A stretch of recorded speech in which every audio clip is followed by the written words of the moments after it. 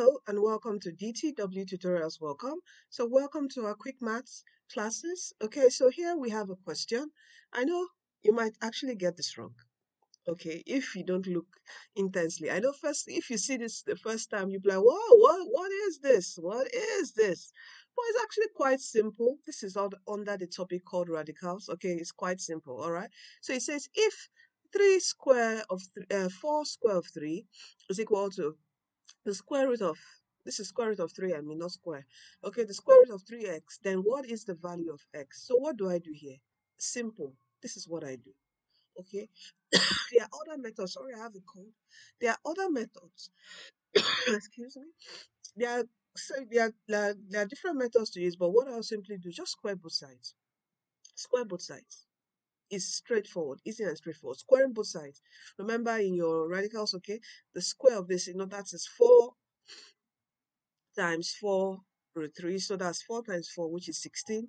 The square root of 3 and the square root of 3, when you multiply, the square cancels and it's what 3. So that's times 3.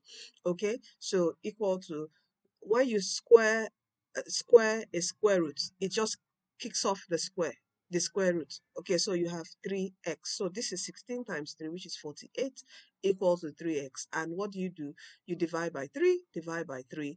This cancels out. 48 divided by 3 is 16. So our answer is what? 16, which is x equal to 16. Can you see that?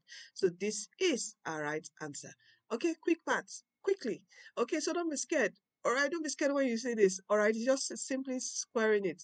Okay, so thank you so much for staying tuned to today's math class and uh, see you in our next video. Don't forget that Jesus Christ is coming soon. Please do give your life to Christ for he's the way, he's the truth, and he's the life. All right? And he's coming so soon. Please come to Jesus today. You are destined to win in life, okay, in your exams, your academics, in lives general in life generally. Thank you and see you in our next video.